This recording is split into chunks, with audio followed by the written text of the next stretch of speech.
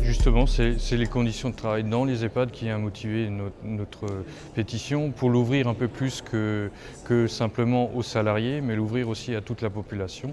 Et avec les nouveaux moyens de communication, il était légitime de mettre ça euh, sur Facebook ou sur d'autres, euh, sur notre site aussi, le partager largement euh, au niveau de la France pour relater les difficultés des agents qu'ils rencontrent sur le terrain la détresse même des agents parce qu'il y a urgence maintenant de s'occuper d'eux. C'est surtout ce, point-là qui nous a, qui, nous a motivés et pour faire entendre euh, euh, au ministère que l'important c'était d'augmenter l'effectif des, agents. On rappelle toujours pour la CFDT que le, soin n'est pas qu'un coût mais aussi une richesse. C'est notre slogan, nous sommes une richesse.